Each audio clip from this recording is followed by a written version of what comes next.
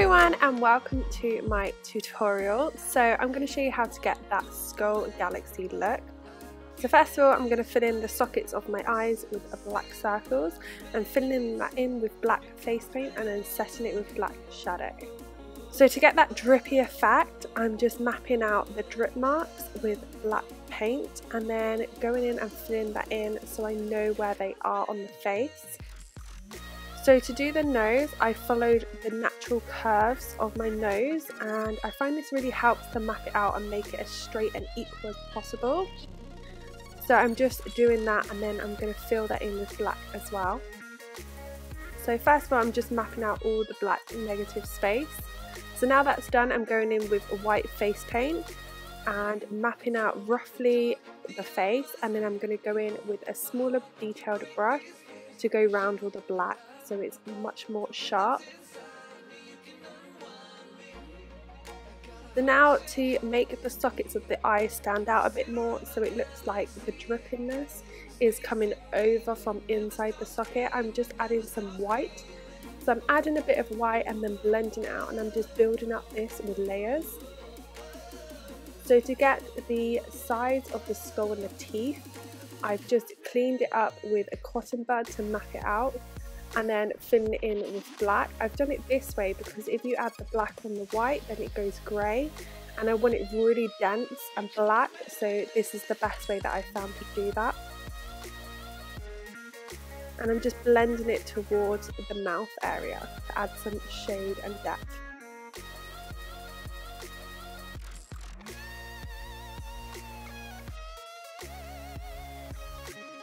Now I'm just colouring in the inner of my lips black so you can't see any pink. And then I'm going to be mapping out the teeth. I'm following my natural teeth lines to do this. I found that's the best way to make realistic teeth. And now I'm just mapping out the teeth. I'm doing sort of triangle shapes when I got to this part, I then decided to widen the mouth. I wanted more teeth, so I've just cleaned up the black and I'm adding white in the areas and shading it back in. I'm just extending the teeth lines here. So again, I'm just mapping out the teeth and then going in and doing triangles to get that realistic teeth shape. And I also blended the top of the teeth to make a gum look because obviously teeth don't just float, they have to be stuck somewhere. So I've just done that with a blending brush.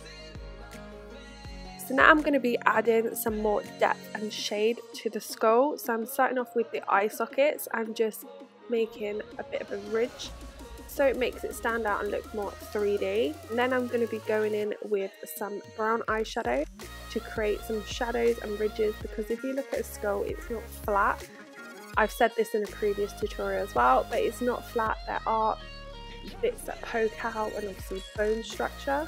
So it's really important to create them shadows when you're doing a skull. And I've also just shaded in the drippy bits so they look more 3D.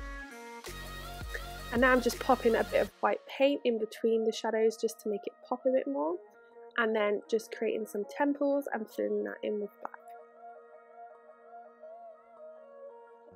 So I decided to go over the black drippy areas with a white shadow to create more of a bright feature when I put the coloured shadows on. So this just makes it stand out more. So I'm using the NYX Ultimate Brights palette I'm just using a mixture of blue and the purples and pinks and then going in with the Cosmic Metals palette to add some shimmer and shine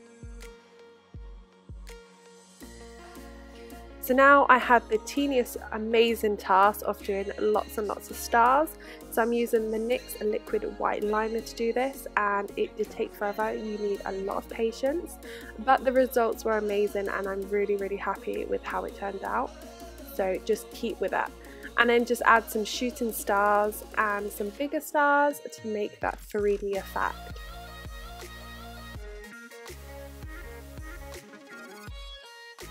So now I wanted my skull to be a bit different. I didn't want it to just, just be a skull. So I'm adding glow in the dark paint to the teeth and the stars. I'll also do this on my chest area as well. And there you go. You can see it glows in the dark. so now I'm just doing the chest area, so I'm just drawing out all the bone structures, so your spine and your rib cage, and then I do arm bones as well. I'm just using a nude lip liner to do this. I find it easier to use a nude pencil than going with black or grey because then it's a bit harder to cover up. But I found with nude it's a lot easier to cover up. As you can see now I'm just going in with the white paint that I used on my face to create them bones and I started off just testing out if the pink shadow on my skin alone would stand out and it did. So now I'm just going in and I'm just making the bones a lot bolder. So I'm just doing a black outline with the black paint and then going in and doing some shading around the edges of the bones. And then I just continue using the NYX Ultimate Brights palette and mixing the blues, pinks and purples and just dotting them anywhere really and blending it out to create that galaxy space look.